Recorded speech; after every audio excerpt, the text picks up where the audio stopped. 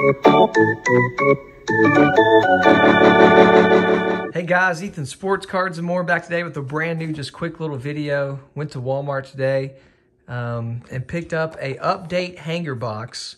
Ripped it off camera. Uh, I've ripped a lot of update this year, so it was just like, let's just rip it off camera. Um, and you know, you know what they say, your biggest pulls come off camera usually, and that's what just happened here. This hanger box had all of this stuff in it. Check out this hanger box.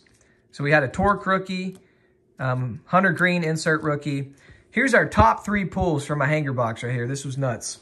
Starting out, I'm a lucky charm, I guess, for pulling Steven Kwan. He's been following me, which is a good thing because Kwan is a good rookie there to have.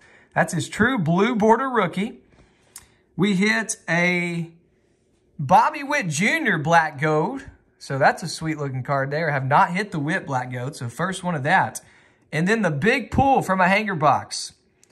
Go ahead and show you guys that Seattle rookie logo there. Boom! Julio Rodriguez, green ice. I mean, just a beautiful card with that Seattle green color match. And that's actually numbered out of 499. So I'm making this right on the spot. I got to go uh, sleeve this up. But 463 out of 499.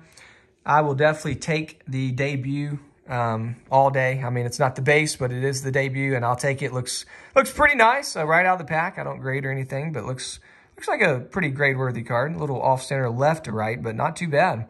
So all that from one hanger box. Just wanted to show you guys. You guys comment below. What's your biggest pull from update hangers this year?